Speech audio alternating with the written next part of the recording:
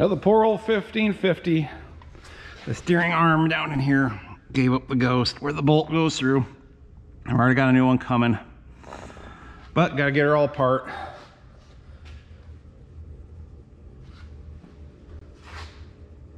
So I will be doing that. Uh, I'm gonna take the steering box up and come from that way. Um, a person can drop the front axle down and take it off that way. But to me, that just seems like more work. You got an unstable tractor that could tip. So just as easy to take some sheet metal off, pull the radiator and pull that box out. Then I can put new seals on it. It was seeping a little bit too. So get her done up right. So let's get to work. Well, I made pretty good progress. Didn't take long. Before I uh, disconnect the steering box, I'm gonna disconnect the tie rod ends from the arm there because that'll help keep things from wiggling around and I think be a little easier to work.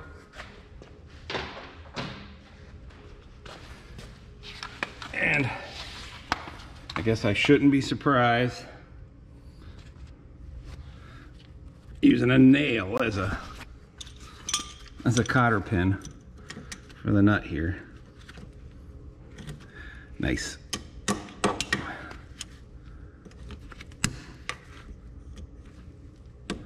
Well, before it came here, this tractor lived a rough life as a loader tractor at the foundry in town where they pretty much used it as a battering ram. And now I'm trying to get out the ever classic nail as a cotter pin. There. I should probably save that. It didn't break, so you know, it's probably still good. See if I can't zip that baby off.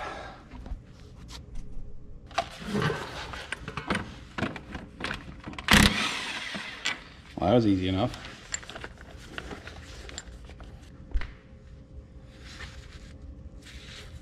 Pickle fork. For those aren't familiar with one, just stick it in there.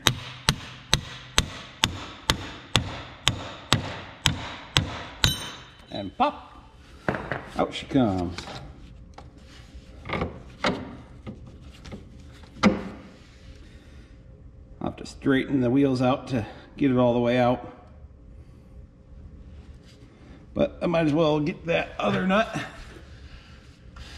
I guess I'll turn them the other way. That'll make that more accessible from the top.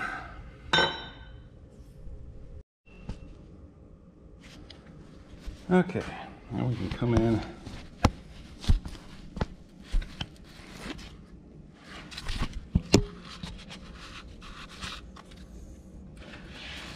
Get that baby right there.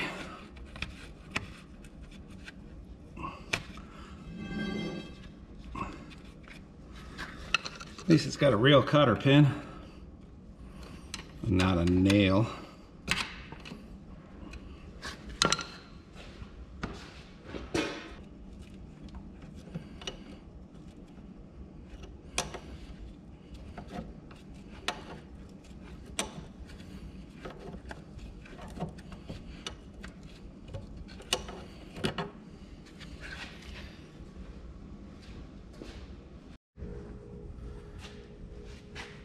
It wasn't that long ago I did this on Allen 1650. So I guess it's all fresh in my head. Got my bucket underneath. Hopefully it'll catch the oil where I've got it at. It's always a mess. I suppose I could use my little pump thing to, nice.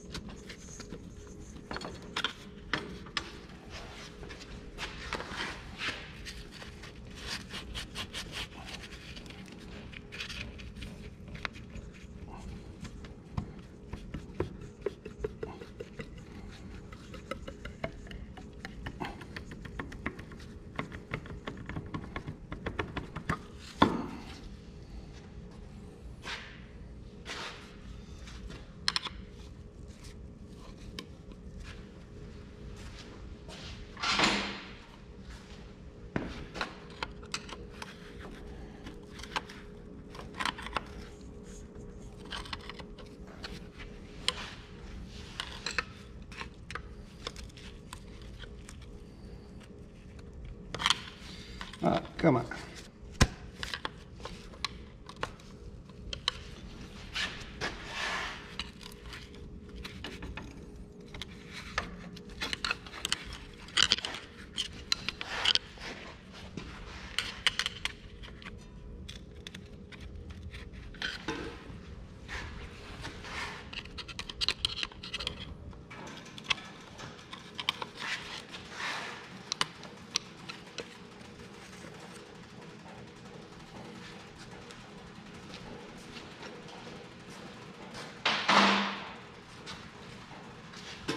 See if this bolt was loose.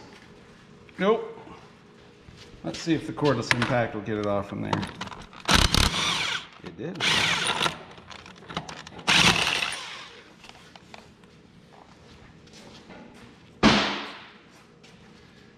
I'd say it wasn't super tight. I might take someone's suggestion about putting some Loctite on those threads.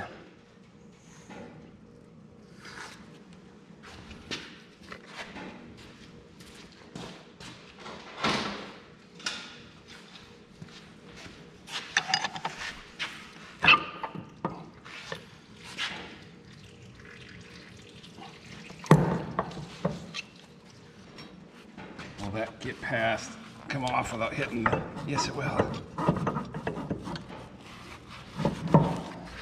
Just gotta get my steering line out of there.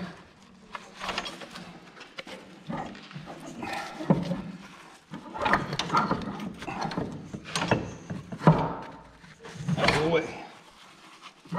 There we go.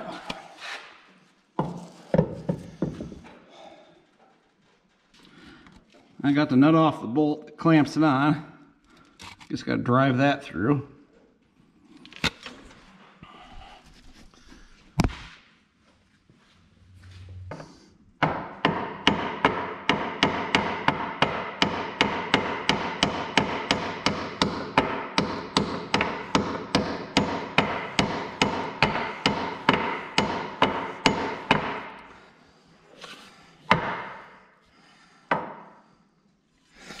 Nice.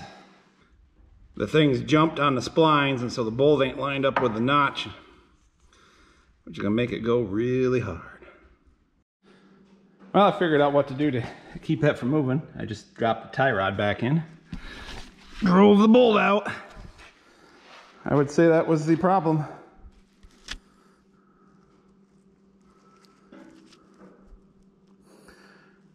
Like I was saying earlier, this tractor lived a rough life being a loader tractor at a foundry. So something tells me that was already cracked. Let's get that shaft out of there.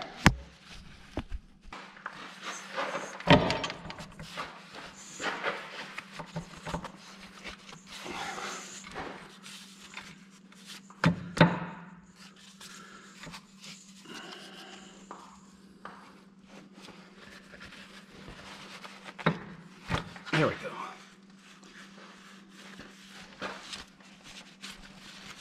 Well, fortunately, the splines look good on the shaft. There's where the bolt normally goes through. And when it split, it jumped some teeth, and so the bolt wasn't quite in there, and that's why it was driving out so hard. Well, that needle bearing seems to be in shape, good shape. The needles ain't leaning or anything.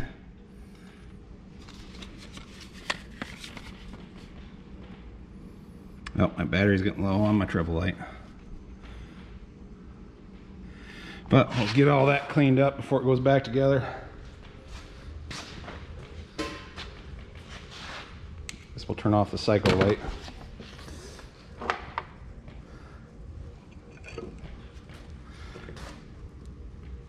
Here's how she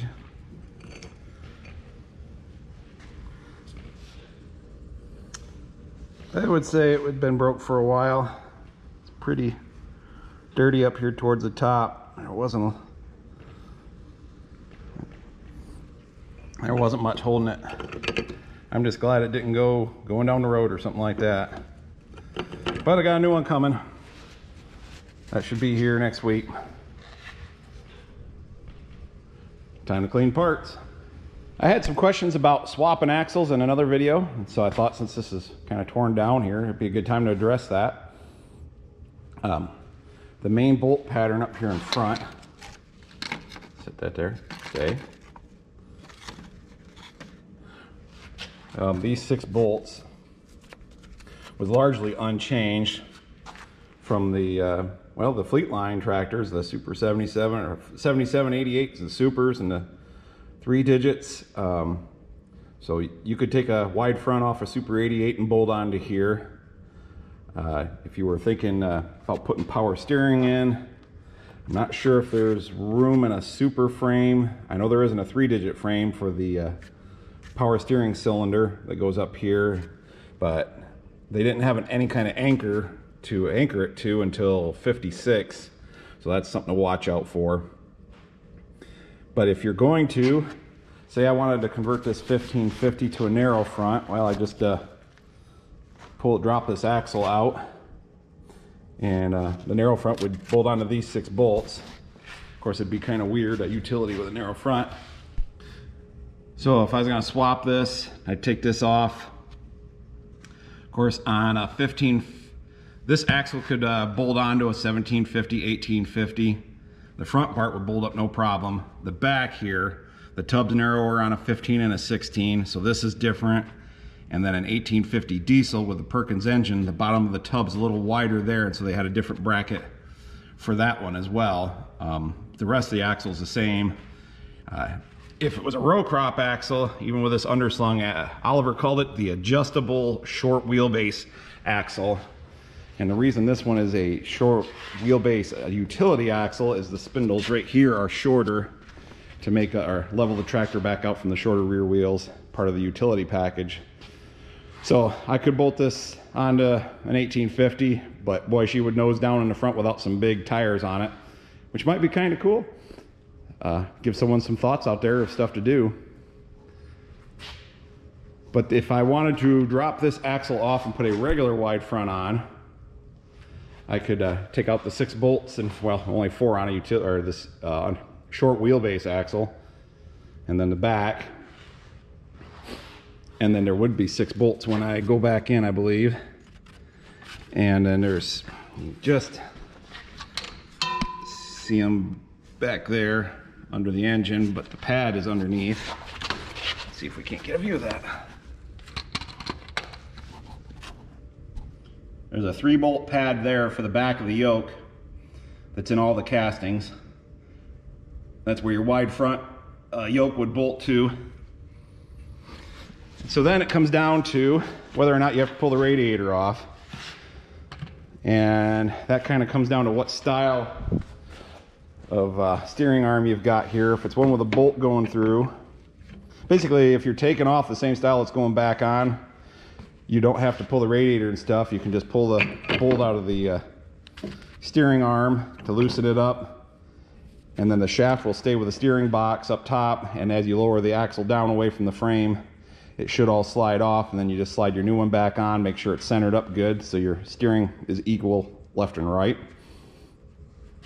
Later on, they changed the design. it was either late 50 series or early 55 series, but the 18, oops, forgot my light. The purple 1850 over here actually has the later style axle. It must have been uh, swapped out at some point or something because uh, this is a very early 1850. But they changed, they improved the design. We're looking underneath.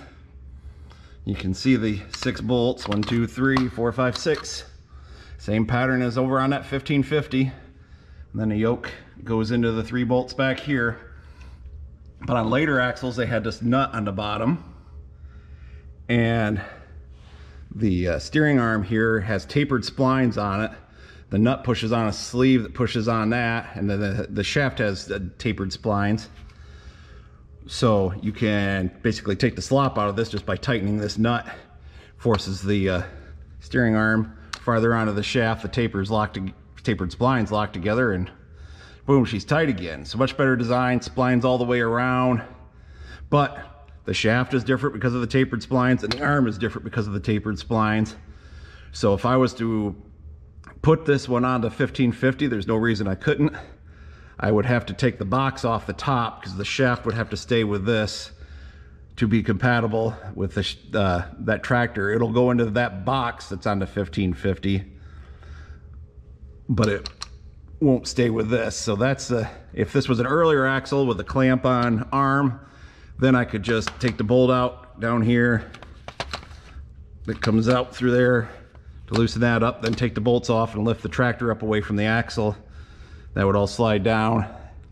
Then I could just slide the next axle back up. If I was going to narrow front, that shaft is built right into the pedestal and you just, you got to take the uh, bolt out of the stuff out of the top of the steering box in order to do it right. So you will have to take the radiator out to get to that. Um, nothing terribly complicated, just a little more time consuming. But um, that's about the gist of it. I've seen 1650s with 88 axles on them. Uh, I will say the 1950, they moved a couple of the holes. So four of them match up and two of them do not. And it's not off by much. You can drill the hole out and uh, and get the bolts in with a, just a little bit of work. That's what some guys do with pulling tractors on their 1950s to get a smaller front pedestal on there to keep the weight down. Get a pedestal from a 77 or even a 66 and bolt it up in there. And uh, you can either just use the four bolts if you want or ream them holes out a little bit so you can get the extra two in and, and you're good. So swapping them out ain't too bad. They stayed pretty consistent with the bolt pattern other than like I say the 1950 I'm not sure on the 2050s, 2150s if they're quite the, if they have that moved bolt or not. I'm sure it saved Oliver money because one uh, tooling in the workshop could do all the machining as far as drilling and tapping, creating the face. They didn't have to have a different setup for each model of tractor. Mostly. Obviously that 1950 throws a kink into that. So that's the, the basics of swapping out an axle. Something I wanted to show on this 1550 that I thought kind of neat little history on it. Um, the hood that was on it, this poor tractor had run a lot, lot this poor tractor had a rough life. Here's the hole that was on it, or here's the hood that was on the 1550. Notice the exhaust hole had been cut out. The reason for that is the early utility 1550s had an underhood muffler, a larger version of what the 88 77s and some of them used, the Fleetline tractors. And I was fortunate enough to get a muffler before they were discontinued, but I didn't put it on until a year or two ago. And then it's just a straight pipe that comes out. So looks like a straight pipe, but it's actually a muffler. And then, of course, they took a special hood because the hole was in a different spot. And that one was all bent up and cobbled up. And I was at Farmersville Equipment in Pennsylvania during a sh tractor show and, uh, and um, went through his inventory and found this hood. Brand new old stock 1550 utility hood. Checked the part number on it. And then I didn't even notice this at first, but at some point in its history, oop, I'm getting the glare. I'll flip that over. But it says from Dave Perrine Implement, Marshall, Michigan, which is about 25 or so miles from here, maybe 30. Uh, then they shipped it back to White Farm Equipment in Columbus, Ohio, which was a branch warehouse. Who knows what, why they did that, whether they ordered the wrong hood or a customer changed their mind or what. I doubt it was for this tractor. This tractor came from the opposite direction of them, but who knows. And then at some point, White shipped it back out to Weitzel Brothers in Harrisonburg, Virginia. And then somehow or another, Farmersville, whether auction or what, but they ended up with it in their vast inventory of stuff. Unfortunately, they are not open anymore. I had an auction here recently. So I'm glad I got this one I did. It shined up nice. Being able to find a, a little dusty right now. Find the right hood for that. Uh, I, I jumped on it. So slowly but surely, I'm getting this tractor back up to snuff. Doesn't hurt so bad when you only do it little here, little there. Because honestly, this tractor probably should have just been parted out. That's it for this episode. Appreciate everybody watching. We'll see you in the next one.